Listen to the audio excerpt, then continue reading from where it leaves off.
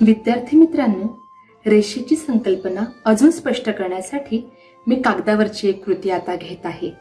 हा माझ्याकडे चौकोनी कागद आहे. तर हा कागद जेव्हा मी मधोमध दुमडते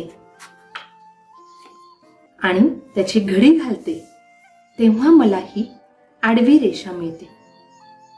हाच कागद जेव्हा मी पुन्हा उघडते आणि तिच्या समोरासमोरील टोक एकमेकांवर दुमडते तेव्हा मला ही उभी रेषा मिळत असते. हाच कागद जेव्हा मी समोरासमोरील टोके एकमेकांवर आणते